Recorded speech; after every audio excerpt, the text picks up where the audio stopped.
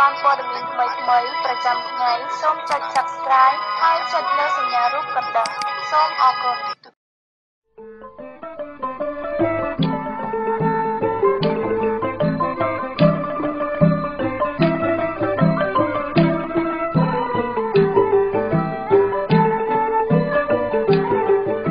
ជាបន្តទៅនេះ សូមស្វាគមន៍រាល់ការតាមដានស្ដាប់របស់វិទ្យុខ្មែរប៉ុស KPR ដែលផ្សាយចេញពីទីក្រុង Long Beach រដ្ឋ California សហរដ្ឋអាមេរិក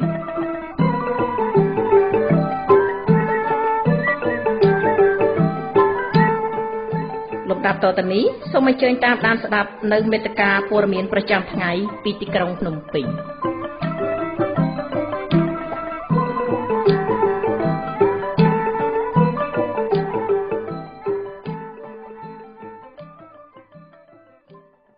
ពីរាជធានីភ្នំពេញនៃប្រទេសកម្ពុជា នាងខ្ញុំហេងសេរីនិចរួមជាមួយសហការី សូមគោរពនិងជម្រាបសួរលោកលោកស្រីអ្នកនាងកញ្ញាដែលកំពុងតាមដានស្ដាប់ការផ្សាយរបស់វិទ្យុខ្មែរប៉ុស្តិ៍ទាំងក្នុងនិងក្រៅប្រទេសជាទីមេត្រីនាងខ្ញុំសូមជូននៅកម្មវិធីផ្សាយសម្រាប់ថ្ងៃច័ន្ទ4រោចខែអាសត់ឆ្នាំរកានបស័កពុទ្ធសករាជ2561ត្រូវនឹងថ្ងៃទី9ខែតុលាគ្រិស្តសករាជ2017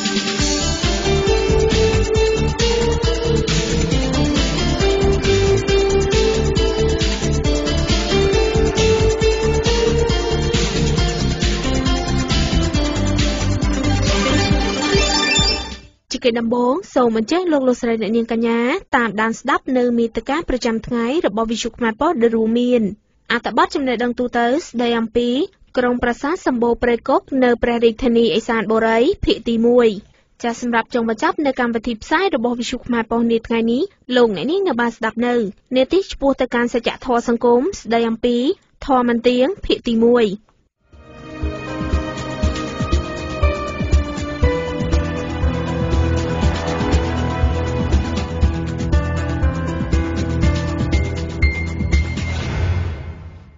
នាងខ្ញុំសូមជូននៅអត្ថបទចំណេះដឹងទូទៅស្ដីអំពីក្រុងប្រាសាទសម្បូរព្រៃគុកនៅព្រះរាជធានីឦសានបុរីភាគទី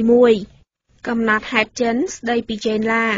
នៅពីមុខកម្មជណ្ដើរក្រោមបង្អស់នៃទ្វារចូលព្រះបរមរាជវាំងពួកគេសម្ដែងគិរវកិច្ចចំពោះព្រះអង្គដោយអោនក្បាលដល់ដីចំនួន3ដង ពួកគេថ្វាយបង្គំដោយជាតិរបស់គេ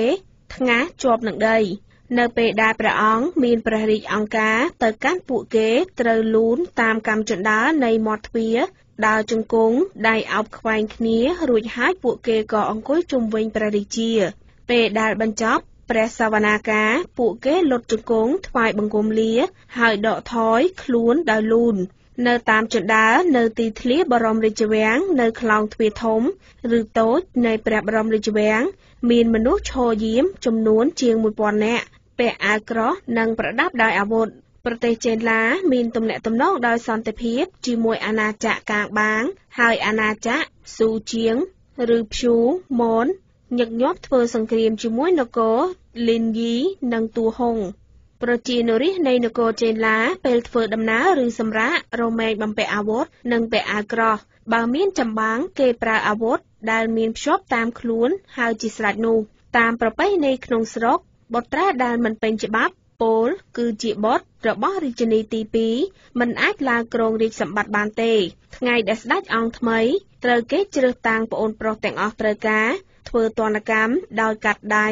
ជើង ជួនកាលដៃមួយត្រូវកាត់ជួនកាលចម្រោះពួកគេត្រូវគេឃុំខ្លួននៅក្រៅព្រះបរមរាជវាំង ហើយមិនអាចមានមុខងារនេតិសាធារណៈអ្វីទាំងអស់ប្រជាពលរដ្ឋចេឡាមានរូបរាងតូច ហើយមានសម្បុរត្នោត ក្នុងចំណោមស្ត្រីក៏មានស្ត្រីសម្បុរស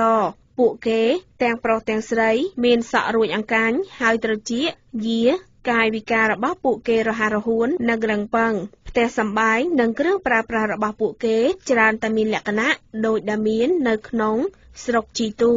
គេចាត់ទុកថាស្ដាច់ ដៃស្ដាំ ជាដៃកាន់វត្ថុស្អាត និងដៃឆ្វេង ជាដៃកាន់វត្ថុសៅមងនានា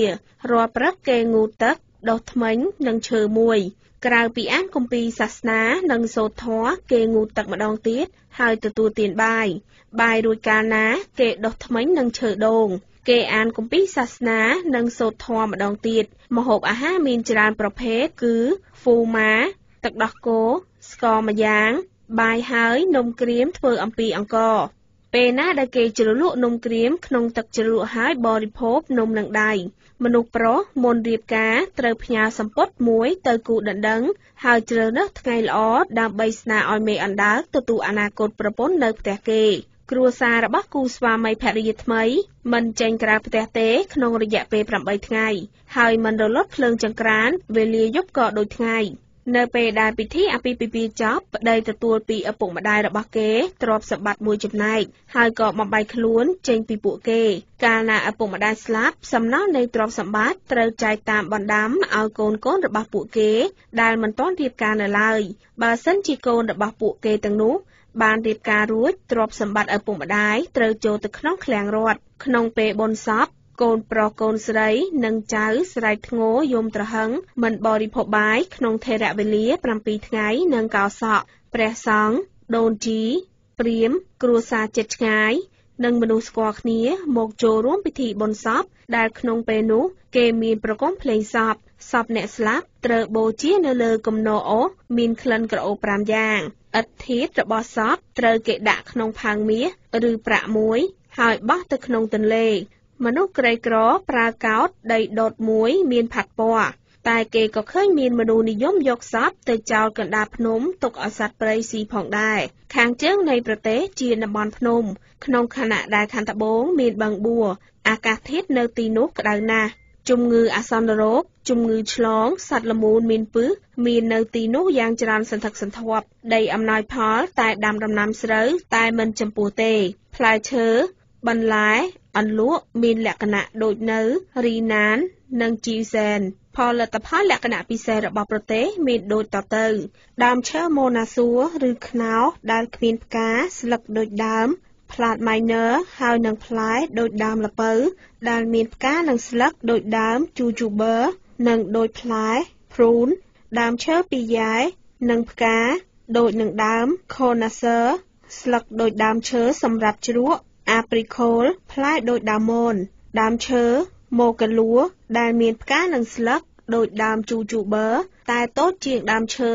កេបៃតួឬក្រូច ដែលមានផ្កាដូចដើមលិនគី ស្លឹកដូចអន តែធំហើយក្រាស់ជាង ផ្លែដូចផ្លែព្រូន តែធំជាង1លើ10រីឯដើមឈើទាំងអស់ឯទៀតមានដូចនៅជីវហ្សែន នៅសមុទ្រនៃឆ្នេរសមុទ្រចេនឡា មានត្រីមួយឈ្មោះចៀនថងជើង4គ្មានស្រកា មានច្រមុះដូចប្រមោចដំរីផ្លុំទឹកចេញកម្ពស់50ឬ60ហ្វូត នៅទីនោះក៏នៅមានត្រីមួយទៀតឈ្មោះហ្វូហ៊ូដែលដងខ្លួនដូចអន្ទង់ហើយដែលមាត់មានរាងដូចជាមាត់សត្វសេកដោយមានប្រវែងជាង8ហ្វូត នៅក្នុងសមុទ្រដដែល មានត្រីធំធំរស់នៅ ដែលនៅពេលងើបពីទឹកហាក់បីដូចជាកូនភ្នំ នៅថ្ងៃទី5ឬទី6ពេញបូរមានចំហាយពលមួយរៀលដាល់ពីពេញពេលនោះអ្នកស្រុកចេនឡាធ្វើពិធីសាសនៅខ្លោងទ្វារខាងលិចនៃទីក្រុង មានជ្រូកស គោស និងពពែស បើពុំធ្វើដូច្នេះទេធនញាតទាំង5មុខនឹងមិនទុំឡើយ ហើយសត្វពីហណៈទាំង6ប្រភេទនឹងស្លាប់ ហើយមនុស្សនឹងមានរោគរាតត្បាត នៅចិត្តទីក្រុង មានភ្នំពិសិដ្ឋមួយឈ្មោះលីងគៀបូផូឬ លើងបរិពតនៅលើភ្នំនេះមានប្រាសាទមួយនៅជិតនោះមានទាហាន2000នាក់យាមល្បាត នៅខាងកើតនៃរាជធានី មានអារក្សមួយឈ្មោះ ផូតូឡា ឬភត្រេស្វរៈ ដែលគេបូជាសាច់មនុស្សថ្វាយជារៀងរាល់ឆ្នាំព្រះរាជាត្រាស់បង្គាប់ឲ្យសម្លាប់មនុស្សម្នាក់ហើយបូជាអារក្សនេះនៅពេលយប់អារក្សនេះការពារដោយទាយាទយាមចំនួន1000នាក់នេះជាសេចក្តីគោរពជ្រាលជ្រៅនៃប្រទេសនេះចំពោះពួកអារក្សមានអ្នកស្រុកជាច្រើន ប្រតិបត្តិបូជាព្រះពុទ្ធក៏ប៉ុន្តែពួកគេមានជំនឿលើព្រាយនៅឡើយនៅក្នុងផ្ទះនីមួយៗគេសាងរូបសំណាកនៃព្រះពុទ្ធនិងរូបសំណាកនៃពួកព្រាហ្មណ៍ជាមួយគ្នា នៅថ្ងៃទី12នៃដោយ617នៃគ្រិស្តសករាជក្នុងរជ្ជកាលចៅអធិរាជយ៉ាងនៃសន្តិវង្សសួយ ប្រទេសចេនឡាផ្ញើប្រតិភូទូតទៅថ្វាយដង្វាយរបស់ខ្លួនចៅអធិរាជបានទទួលពួកគេដោយអធិកអធមក៏ប៉ុន្តែទំនាក់ទំនងផ្សេងទៀតរវាងចិននិងចេនឡាត្រូវបានផ្អាកបន្ទាប់មក ចាអត្ថបទចំណេះដឹងទូទៅដែលលោកអ្នកនាងទៅតែបានស្ដាប់នាពេលនេះសូមស្លេះទៅត្រឹមនេះសិនសូមលោកអ្នកនាងរងចាំតាមដានស្ដាប់នៅភាគបន្តនាថ្ងៃស្អែកជាបន្តទៀត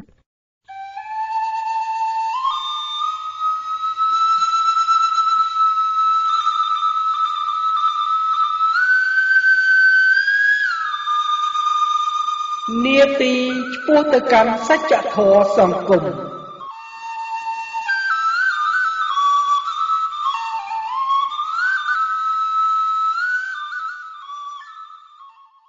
ចាសម្រាប់ចុងបញ្ចប់នៃកម្មវិធីផ្សាយរបស់វិទ្យុខ្មែរប៉ុស្តិ៍នាថ្ងៃនេះលោកអ្នកនេះនៅបានស្ដាប់នៅនេតិឆ្ពោះទៅកាន់សច្ចធម៌សង្គមស្ដីអំពីធម៌មិនទៀងភាគទី1ចាសម្រាប់នេតិនេះសួរដេញដោលដល់លោកសុវណ្ណធីទៅកាន់លោកភួងសារ៉ាត់ដូច្នេះសូមអស់លោកអ្នកនាងកញ្ញាតាមដានស្ដាប់ដូចតទៅ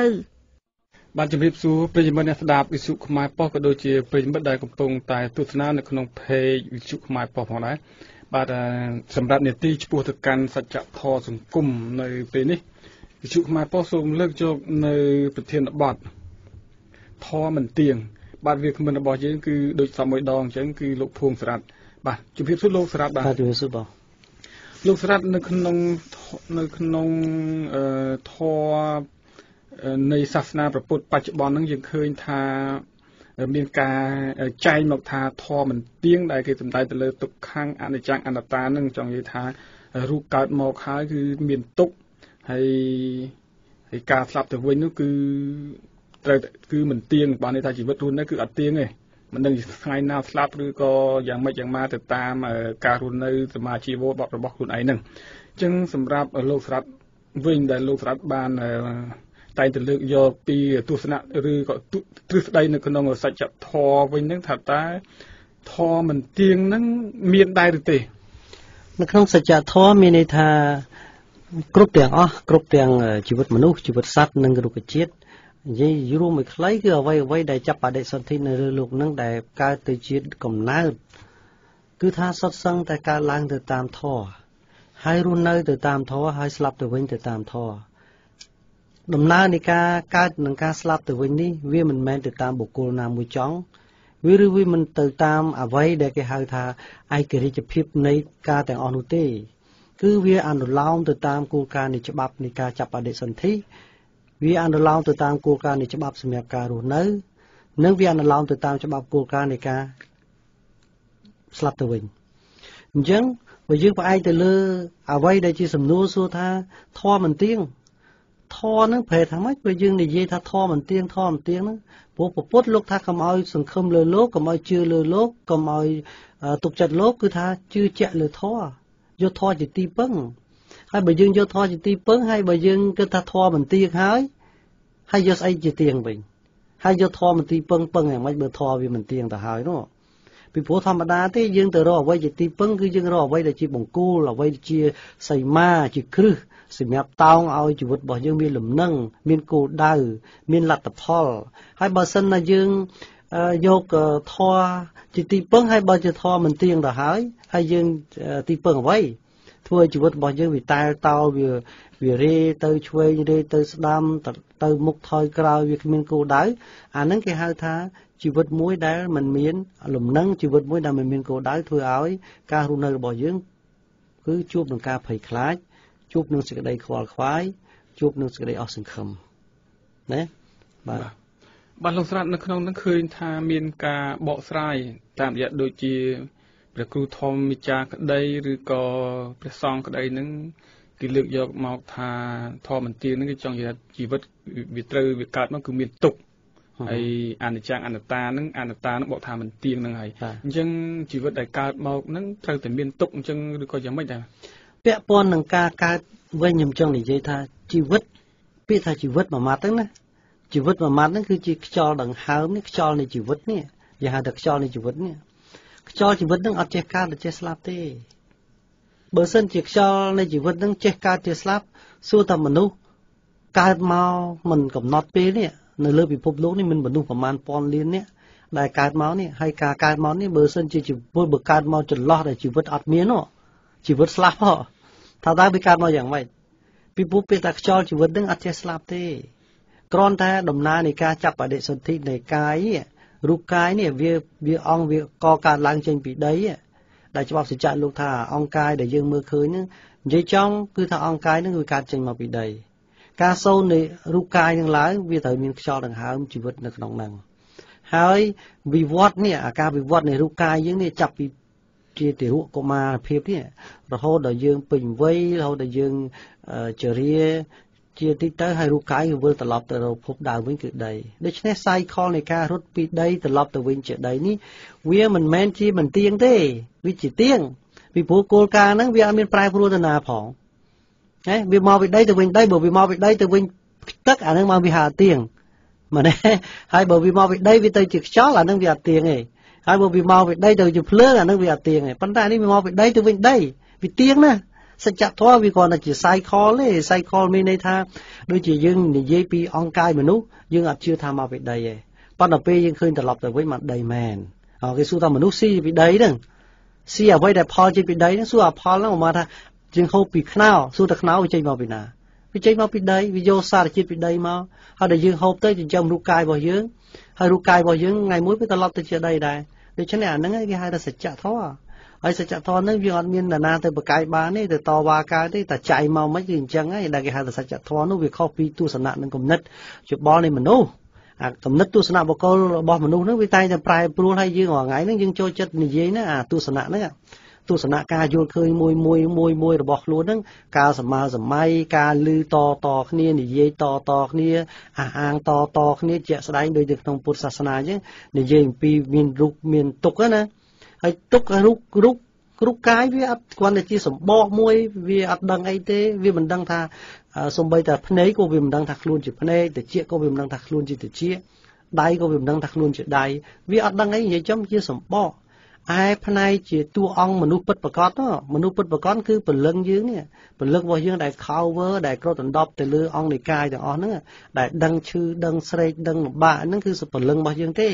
ហើយជាក់ស្ដែងយើងមើលនៅពេលដែលពលឹងចេញសួររូបកាយយើងយកទៅដុតមើលហើយយើងយកទៅកាប់វា4 10កណាត់មើលវាចេះឈឺអត់ពេលដែលពលឹងចេញទៅណា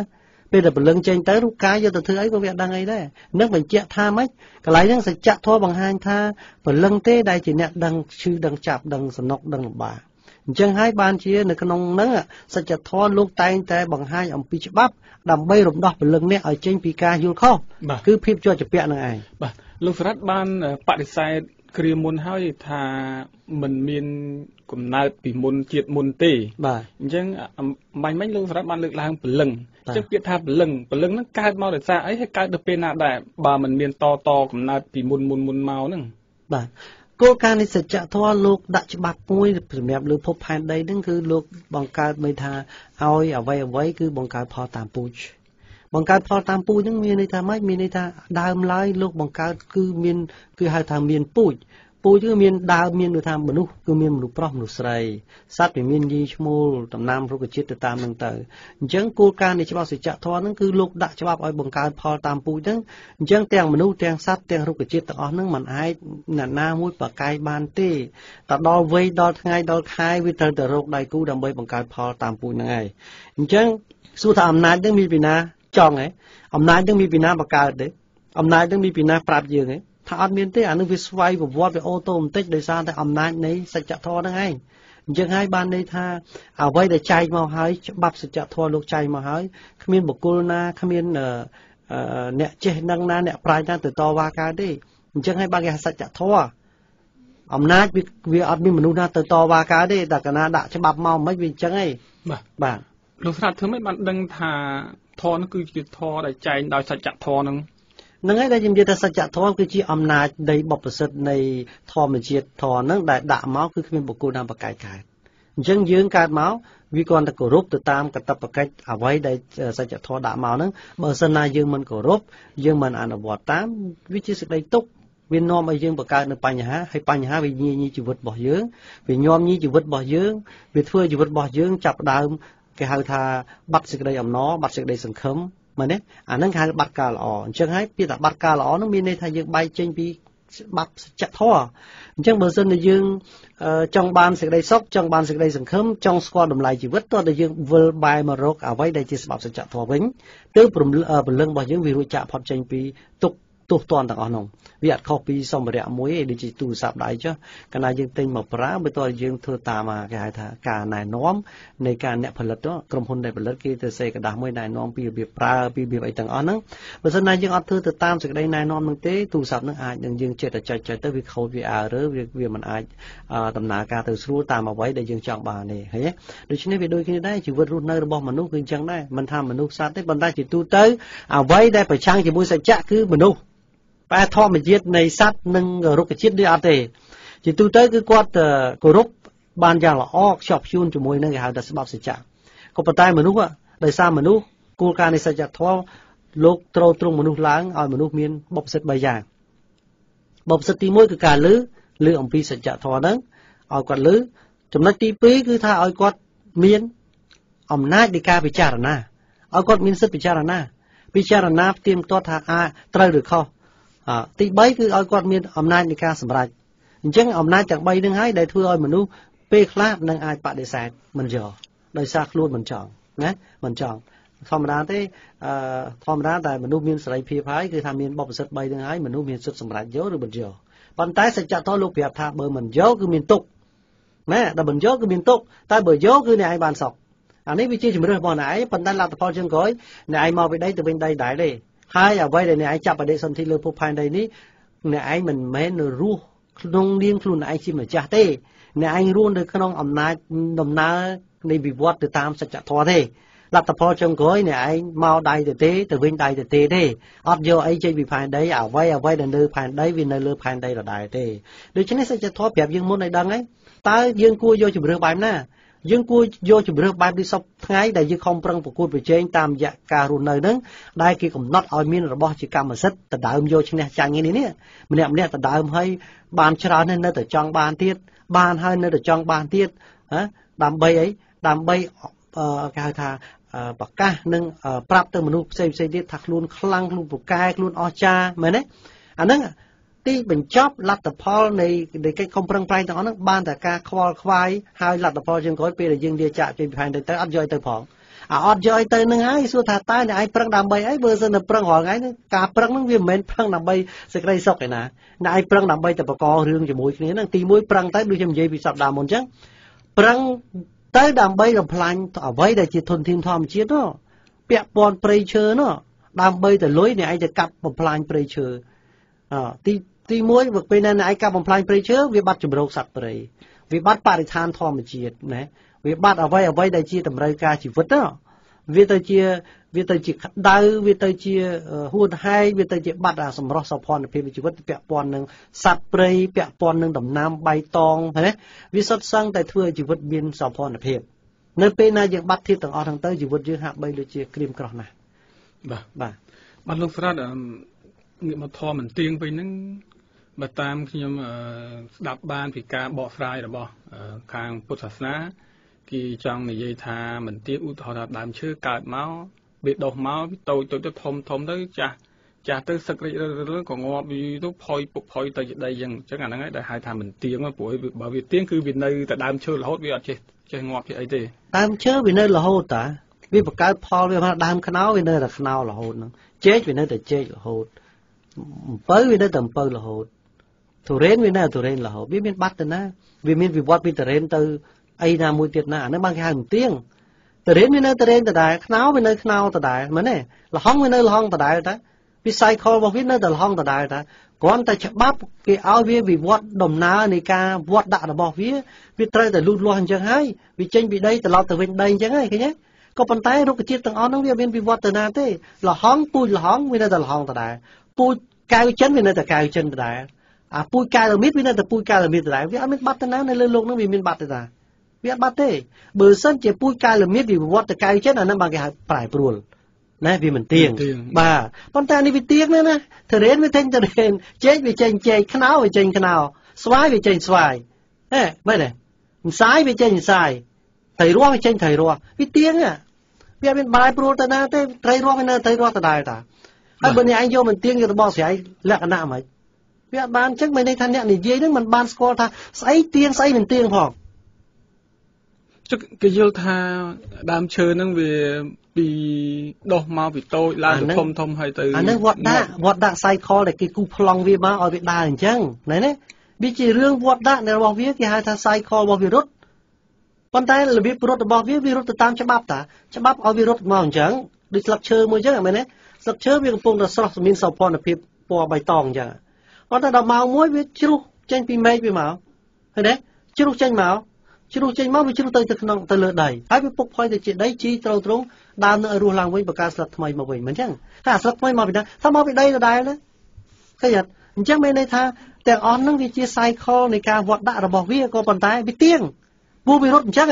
វារត់អញ្ចឹងតាំងពីដើមតាំងពីក្របក្របចេញមកកូនកូនទៅជាដើមឈើ ធំបន្តិចអាធំបន្តិចវាទៅជាដើមឈើធំដើមឈើធំវាបង្កើតផលផ្លែមែនទេវាវាសៃខវារត់ចឹងពូជវាទៅតាមពូជវាមួយមួយមួយមួយវាបាត់បាត់វងវាមានបាត់បងទៅណាវាមានប្រែប្រួលទៅណា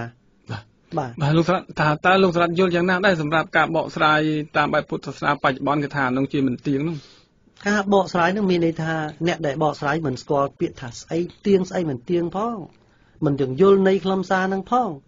អាមួយគេហៅវត្តដាក់វត្តដាក់របស់វាវាប្រែប្រួលនឹងច្បាប់កំណត់ឲ្យវាទៅជាដំណាក់កាលមួយមួយវាទៅតាមដំណាក់កាលរបស់វាអាហ្នឹងវាជារឿងការលូតលាស់នឹងការវត្តដាក់របស់វាតា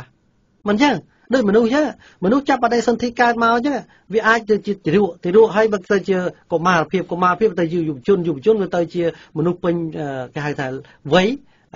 ចាប់បង្កកំណើតជាគ្រួសារហើយវាទៅជាចាស់ចាស់ទៅជាជារាជារាទៅជាស្លាប់ទៅវិញអានឹងមិនទៀងមិនវាទៀង សៃខវារត់ទៀងណាវាអត់មានអាណាថាអូចេញពីកុមារភាពទៅជាចាស់ហ្មងអើម្ដងទៅចេញពីកុមារភាពទៅជាមនុស្សកដាលមនុស្សវ័យកដាលណាជួនកាលវាចេញពីវាអត់មានកុមារភាពចេញមកមនុស្សចាស់មកមកអារត់ចុះរត់ឡើងវាមិនទៀងទៅតាមចង្វាក់សវកម្មរបស់វានឹងគេហៅមិនទៀងហើយយកអានេះវារត់ទៀងណាទាំងមនុស្សទាំងរុក្ខជាតិទាំងសត្វវាបង្កើតផលតាមពូជគឺវាទៀងណាវាមានប្រែប្រួលទៅណាវាទេអត់មានវិវត្តទៅណាវាទេ កុំដូចជាអ្នកប្រាជ្ញមួយនិយាយថាមនុស្សកើតមកពីស្វាទៅយោងតាមពេលវេលាពលកម្មមែនទេជាតែនិយាយអ្នកប្រាជ្ញមើលនៅបច្ចុប្បន្នខ្ញុំហៅមកຕົកមូលទេជាតែនិយាយបើសិនជាអ្នកឯងចេះពោះថាមនុស្សកើតមកពីស្វាអ្នកឯងយកស្វានងយកមកបង្កាត់មួយមនុស្សបើចេញច្បាប់សច្ចៈលោកថាបង្កើតផលតាមពូជតើអ្នកឯងយកសេះទៅបង្កាត់ជាមួយគោមិនចេញផងតើអ្នកឯងយកសេះទៅបង្កាត់មួយលាមិនចេញផង ទេពីព្រោះវាខុសពូជវាខុសសែនវាខុសអ្វីដែលជាកំណត់កំណើតនៃជីវិតខុសពីច្បាប់សច្ចៈវាអត់ចេញជាអីទេមនុស្សគឺវាប្រកបកើតតាមមនុស្សតតែយកច្បាប់មនុស្សតតែយកមនុស្សមកបង្កាត់មួយមនុស្សបើវាចេញមនុស្សឥឡូវយកអាមេរិកកាំងមកបង្កាត់មួយខ្មែរបើមិនចេញមនុស្សអយកឥឡូវយកអាហ្វ្រិកទៅបង្កាត់មួយអាអង់គ្លេសវានៅចេញមនុស្សពីព្រោះមនុស្សពូជមនុស្សវាត្រូវបង្កាត់បង្កើតផលតាមពូជមនុស្សទោះបីយកសាសនាមកបង្កាត់នេះក៏ចេញដែរ ប៉ុន្តែបើអ្នកឯងយកមនុស្សទៅបង្កាត់ជាមួយស្វារបស់ប្រភេទដែលអ្នកឯងថាវិវត្តមកមនុស្សនឹងយកទៅបង្កាត់ទៅបញ្ចេញយកតែអាពូជស្វានឹងទៅបង្កាត់អាពូជស្វាមួយទៀតគាត់ថាធំតូចចេញចេញតែគ្នាឲ្យតែស្វាមែនទេឲ្យតែបោដោយស្វាវាចេញទេបើថាឆ្កែក៏ដោយអ្នកឯងយកឆ្កែបែកស៊ីមកបង្កាត់ជាមួយឆ្កែខ្មែរយើងវាចេញយកអាឆ្កែខ្មែរយើងអាទុយទុយទៅបង្កាត់ជាមួយឆ្កែណាក៏ចេញដែរ អញ្ចឹងមានន័យថាអ្វីដែលសច្ចៈលោកចែងគឺវាត្រឹមត្រូវហើយវាគឺជាការទៀងជាធម៌មួយដែលទៀងដែលច្បាស់លាស់ត្រឹមត្រូវអត់ប្រែប្រួលអត់បន្លែបន្លំអត់មានភូតផោ ប៉ុន្តែទស្សនៈនៃការយល់ខុសរបស់បុគ្គលទាំងអស់ហ្នឹងទេ ដែលយកទៅបង្ខូចការពិតសច្ចធម៌នោះប៉ុន្តែនេះគឺបានចែងនៅក្នុងគម្ពីរបត្រៃបិដកជាមកេមរតករបស់សទ្ធតៈដែលបានត្រាស់ដឹងនៅបញ្ញាញាណនេះហ្នឹងការចែងចងក្រងនឹងគម្ពីរហ្នឹងដូចខ្ញុំនិយាយអញ្ចឹងយើងមិនបដិសេធទាំងស្រុងទេចំណុចខ្លះក៏មានចំណុចត្រូវ នៃការចងក្រងហ្នឹងតែចំណុចខ្លះហ្នឹងក៏គ្មានភ័ស្តុតាងនៅខាងក្រៅដែរអញ្ចឹងពុទ្ធលោកអះអាងថាថាកុំជឿសម្ដីលោកប៉ុន្តែអ្វីដែលលោកនិយាយសូមឲ្យយកទៅពិចារណាផ្ទៀងផ្ទាត់ជាមួយនឹងធម៌ខាងក្រៅនេះផ្ទៀងផ្ទាត់ជាមួយនឹងសច្ចធម៌ខាងក្រៅធម៌ជាតិខាងក្រៅនេះដែលជាភ័ស្តុតាងរស់មិនមែនផោះតាំងស្លាប់ទេជាផោះតាំងរស់អញ្ចឹងអ្វីដែលលោកនិយាយនោះសូមឲ្យយកទៅផ្ទៀងផ្ទាត់ពិចារណាផ្ទៀងផ្ទាត់ជាមួយធម៌ខាងក្រៅណាជាមួយសច្ចធម៌ជាមួយធម៌ជាតិខាងក្រៅហ្នឹងអ្នកឯងសឹមទទួលយក ណាប៉ុន្តែសប្តាហ៍ថ្ងៃនេះយើងសប្តាហ៍ថ្ងៃឃើញកម្ពីសរសេរប៉ុន្តែកម្ពីសរសេរខ្ញុំទទួលស្គាល់ប៉ុន្តែចំណុចខ្លះខ្ញុំផ្ទៀងផ្ទាត់ខាងក្រៅវាត្រូវតែពេលផ្ទៀងផ្ទាត់ត្រូវខ្ញុំត្រូវទៅយកនេះជាបណ្ដាំរបស់ពុទ្ធមិនមែនជាបណ្ដាំរបស់បុគ្គលណាមួយទេឥឡូវឧទាហរណ៍ថាបើមិនសិនជាការចែងមកពុទ្ធថាមានរូបមានទុកឧទាហរណ៍ខ្ញុំទទួលស្គាល់ហើយថាមានរូបមានទុកប៉ុន្តែរូបរូបអីគេហើយទុកទុកស្អីគេ អាហ្នឹងបញ្ជាក់នេះច្បាស់ពីព្រោះខ្លឹមសារវាវាវាការបកស្រាយខុសគ្នាព្រោះពពុទ្ធថាលោកមានរូបមានទុកលោកសំដៅពីរូបប៉ាំងរូបបៈរូបប៉ាំងហ្នឹងមានន័យថាអ្វីដែលជារបស់នៅលើផែននេះសច្ចធម៌ថាតាំងពីដីតាំងពីផ្លែឈើតាំងពីមាសតាំងពីពេជ្រតាំងពីផ្ទះសម្បែងទាំងអស់ហ្នឹងពពុទ្ធលោកថាអាហ្នឹងមិនមែនរបស់យើងទេមិនមែនជារបស់យើងទេប៉ុន្តែរបស់ទាំងអស់ហ្នឹងវាត្រូវត្រង់យើង វាបំពេញតម្រូវការយើងណែពពុទ្ធលោកចែងអញ្ចឹង សូមកុំឲ្យយើងគិតថាជារបស់យើងណាក៏មិនជារបស់យើងទេតែបើយើងហ៊ានតែយកមកដាក់ធ្វើជារបស់យើងជាប់នៅក្នុងនេះនៅក្នុងពលឹងរបស់យើងនេះជាប់ដែលយើងហៅថាចិត្តនេះពេលដែលជាប់នៅក្នុងចិត្តហ្នឹងដែលហៅថាហៅថាចិត្តហ្នឹងតែពិតវាពលឹងហ្នឹងជាប់ក្នុងពលឹងហ្នឹងវាមានទោសពីព្រោះលោកអត់ឲ្យយើងជាប់ទេប៉ុន្តែបើយើងយកមកដាក់ក្នុងហ្នឹងជាប់ជាប់យើងកើតសេចក្តីជាប់ជាប់ហ្នឹងខ្វល់ខ្វាយខ្លាចវាលបោតខ្លាចវាបាត់ខ្លាចវាជ្រុះមែនទេខ្លាចគេយក អាហ្នឹងវាទុកមកវាអញ្ចឹងតាអញ្ចឹងកន្លែងហ្នឹងដែលលោកថាមានរូបមានទុកគឺថាអ្វីដែលរបស់ទាំងអស់ដែលយើងមើលឃើញនឹងភ្នែកនៅលើភពផែនដីហ្នឹងកុំឲ្យជាប់ជាពាក់តាជាប់ជាពាក់គឺវាមានរូបនោះវានៅក្នុងហ្នឹងវាជាប់នៅក្នុងចិត្តអ្នកឯងហ្នឹងហើយពេលដែលជាប់ចិត្តអ្នកឯងហើយគឺអ្នកឯងខ្វល់ខ្វាយហើយគេវាមានទោសរិសាយមានទោសរិសាយអ្នកឯងប្រឆាំងមួយស្វាសច្ចៈហ្នឹងស្វាសច្ចៈលោកមានឲ្យអ្នកឯងជាប់ជាពាក់ណាអ្នកឯងសោយពីសោយវាទៅប៉ុន្តែកុំឲ្យជាប់ជាពាក់មែនទេដូចអ្នកឯងហូបបាយ អញ្ចឹងថ្ងៃបរិភោគបាយបរិភោគផ្លែឈើបរិភោគសាច់ទាំងអស់ហ្នឹងតែមានជាប់ជាពាក់ណា មួយខណៈក្រោយមកយើងបញ្ចេញចោលទៅហូបហើយយើងជុះទៅផឹកហើយយើងនោមចេញទៅអាហ្នឹងលោកចង់ឲ្យធ្វើដំណើរជីវិតបែបហ្នឹង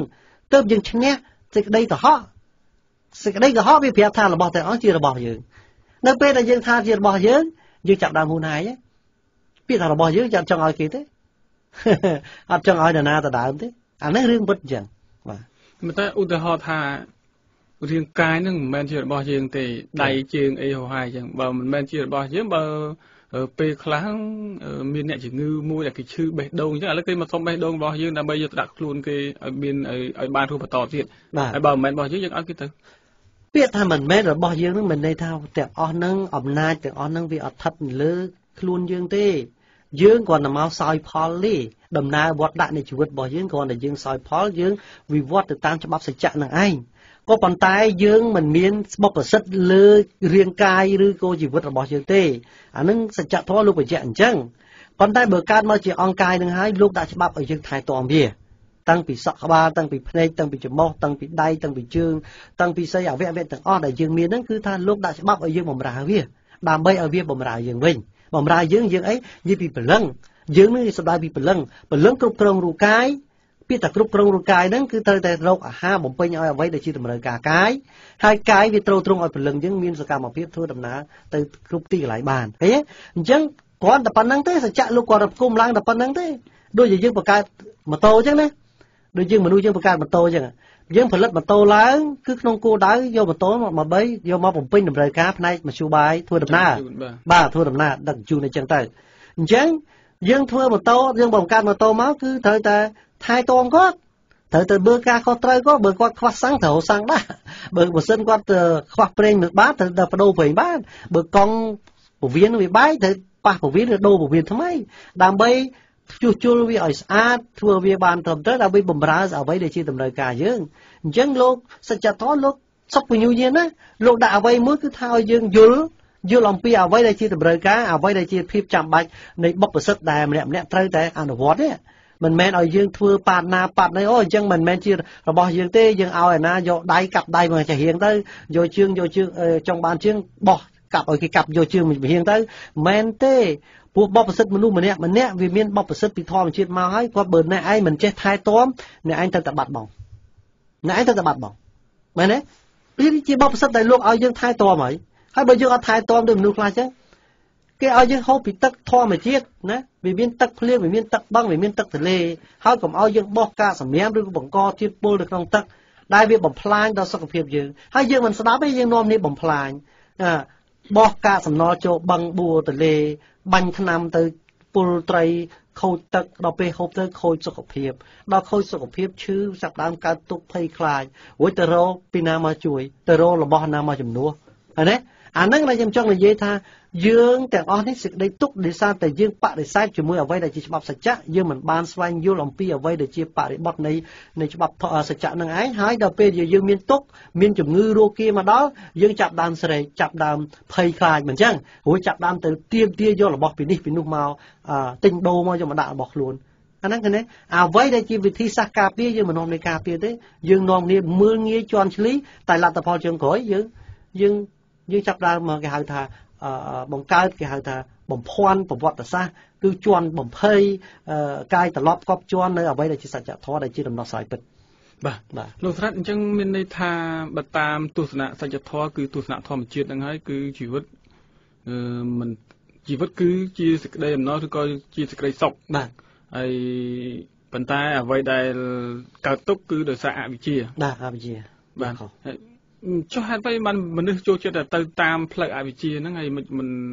បើគេកើតគេបង្កើតមកឲ្យយើងមានសេចក្តីសុខទៅហើយមិនបានចូលចិត្តដើរទៅទៅខាងអវិជ្ជាហើយស្រែករកសេចក្តីសុខត្រឡប់មកវិញដូចមើលទៅដូចជារឿងកំ pl ែងមិនបាទអ្វីដែលវាកើតឡើងនៅលើជីវិតម្មនុស្សម្នាក់ម្នាក់ហ្នឹងខ្ញុំគិតថាផ្លូវល្អអ្វីដែលជាច្បាប់អ្វីដែលជាក្បួនអ្វីដែលជាគោលការណ៍គឺថាមនុស្សមិនចង់នាំនេះធ្វើទេ វាបែកបត់ច្រើន វាមានកលៈកលុកកលៀតរបស់វាណា ដល់អញ្ចឹងមនុស្សអត់ចង់ទេចង់ធ្វើអ្វីតាមតែអាការនឹកឃើញអ្វីដែលតែអារម្មណ៍អារម្មណ៍ឬក៏ការសម័យសម័យមែនទេអាហ្នឹងដូចខ្ញុំចង់និយាយអញ្ចឹងថាមនុស្សគឺថាកើតមកនេះគឺថាកើតមកហើយនេះគឺថាផ្ដើមចេញពីការដែលយើងមិនបានភ្ជាប់ជាមួយនឹងសច្ចធម៌ហ្នឹងហើយទេបានថាមិនបានភ្ជាប់ជាមួយសច្ចធម៌បើយើងផ្អែកទៅលើប្រវត្តិសាស្ត្រខ្លះបង្ហាញថាមនុស្ស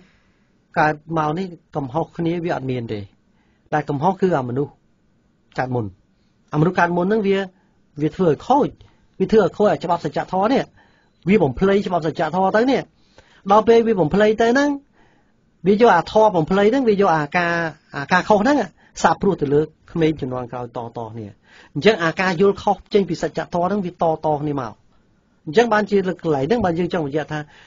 អ្វីដែលជនរួមជាតិកំពុងតែប្រព្រឹត្តសពថ្ងៃទៅតាមបែបបទនៃជំនឿពុទ្ធសាសនាដែលខ្មែរយើងកំពុងធ្វើសពថ្ងៃហ្នឹងដែលយំរាប់ថាជាកំហុសហ្នឹង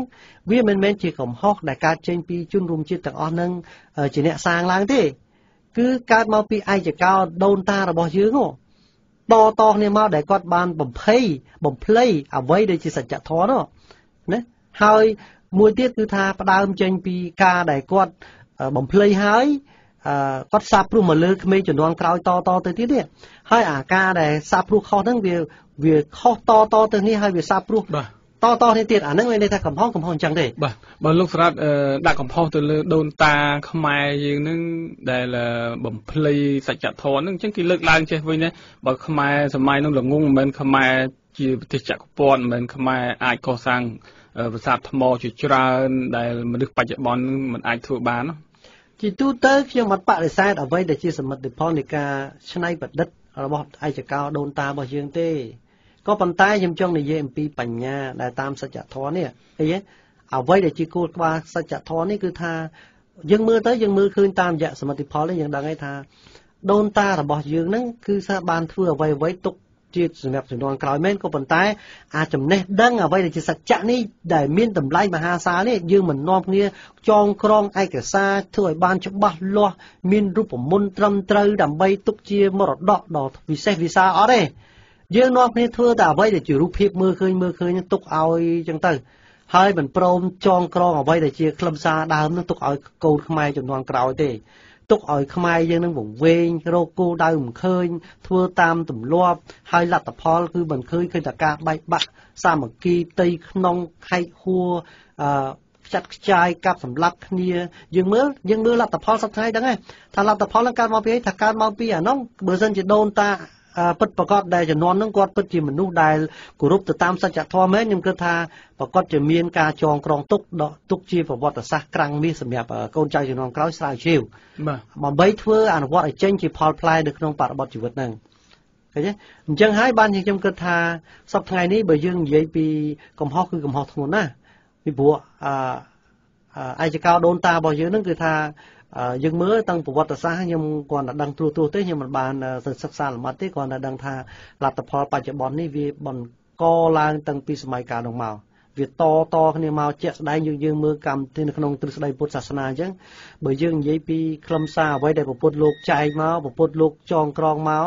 លោកបង្រៀនទៅដល់អនន្តទាំងអស់ហ្នឹងគឺថា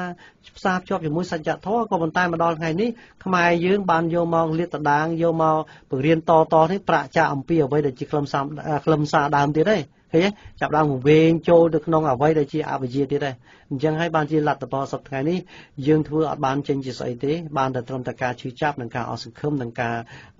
មាក់ងាយគ្នាតែប៉ុណ្្នឹងទេបាទលទ្ធផលបាទអរគុណលោកស្រាត់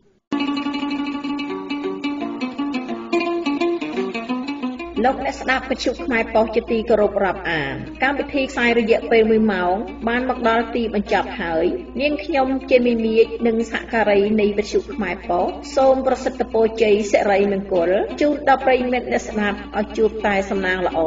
សុខភាពបបរប្រសើរនិងជោគជ័យនៅរាល់គ្រប់ភារកិច្ចការងារសូមអរគុណ